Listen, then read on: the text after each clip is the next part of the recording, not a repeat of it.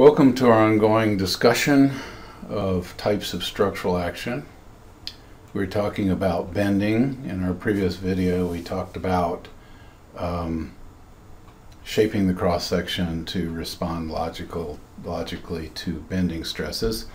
And now we want to talk about shaping the profile of the structural member. So you'll recall we said there are three major issues that we worry about in anything that's in bending. We worry about shear capacity, which we discussed in the previous uh, video, moment capacity, which we touched on relative to how we're shaping the cross section, and stiffness, and we mentioned the fact that too much movement can be distracting to people or can cause cracking of brittle elements in the system. Um, we're going to start by sort of focusing on this issue of moment capacity. In a simple span beam like this under a uniform load, we have an internal influence we call the moment, and the moment is what is producing those bending stresses that we've been talking about, high compression on the top and high tension on the bottom, which can result in this kind of uh, failure mode where there's a tensile fracture on the bottom or some kind of compression failure on the top. Uh, that moment distribution in this simple span beam is a parabola that peaks at the center, which is why the failure always occurs either right at the center or very close to it. And if it doesn't occur right at the center, it's because the material is not perfectly homogeneous. So the fact that this is parabolic means uh, it would be advantageous to us to shape the member profile to fit this parabola. We don't typically go to that much trouble in beams, but in this particular building, which we've mentioned before, there's a tension member across the bottom here, and there's an arch element here, and those two things together are working to span uh, roughly 300 feet. And in this case, they chose to give this arch the perfect parabolic shape to match this shape up here. As I mentioned, we don't usually do that for beams, but we do make some compensation. For example, in this particular structure, we have glass mullions that are spanning from the top of this opening down to the bottom. And you'll notice those mullions have been given the greatest structural depth at the center and less structural depth at the bottom. Um, they've been cut on a straight line rather than a parabolic shape because that's a lot easier. It's a lot easier to cut glass on a straight line. In fact, most of the materials we can shear or cut in some way along a straight line a lot easier than we can cut a curve. Uh, here's another example. This is the Phoenix Airport. These are plate girders.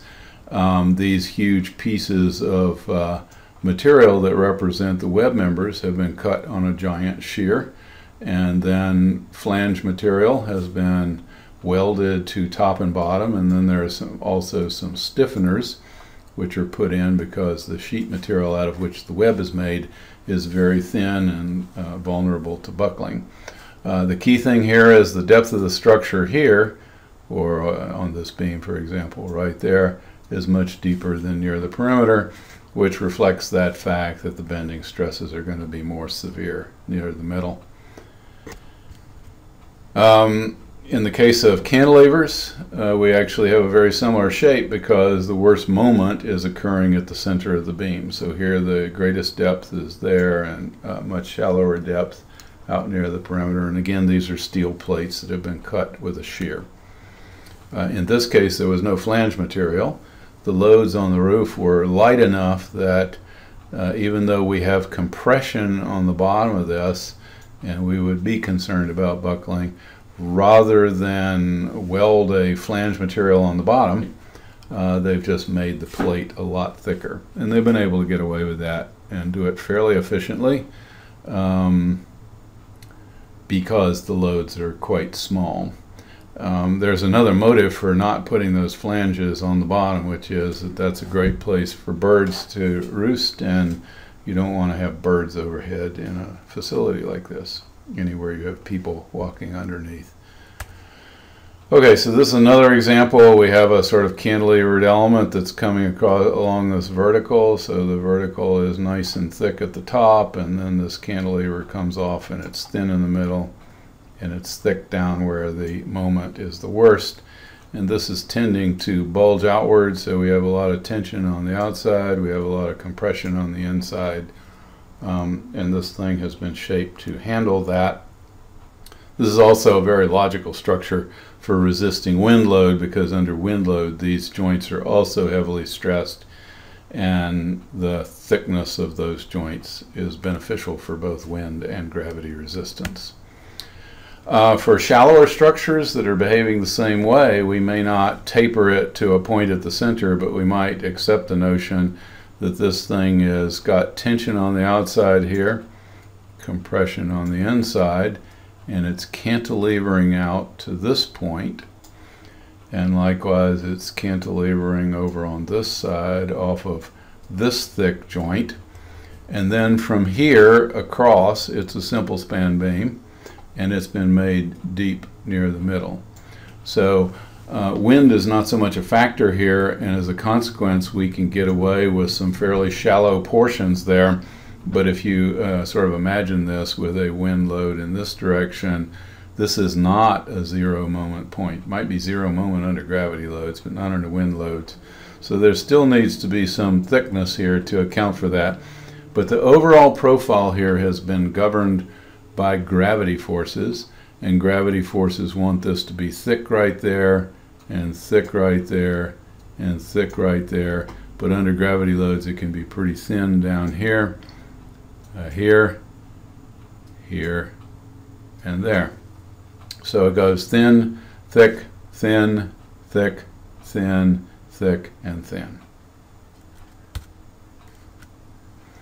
This just shows a close-up of that connection, and you'll notice, by the way, that there are many, many more bolts occurring up near the top here because that's uh, indi indicative of the fact that we're trying to transfer tension across the top under gravity loads. There are fewer bolts on the bottom. This will go into tension on this side under wind loads, but the structure is heavy enough that the, the reverse loads are not as severe. And this just shows that uh, very small dimension down at the base, which is indicative of the fact that there is no intention of absorbing much uh, bending influence at that location. So this concludes our um, video on shaping the profile of bending elements.